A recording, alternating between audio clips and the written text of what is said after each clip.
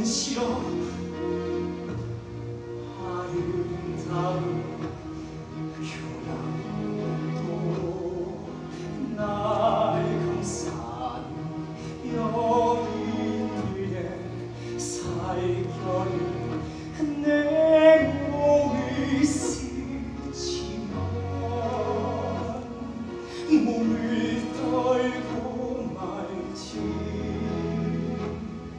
난 알고 싶어. 어떻게 그림자들고 어떻게 모두 포기해 어떻게 양심 배반한 채 자기 자신 거부해 어떻게 사나 자신의 길에서부터 어떻게 그림자고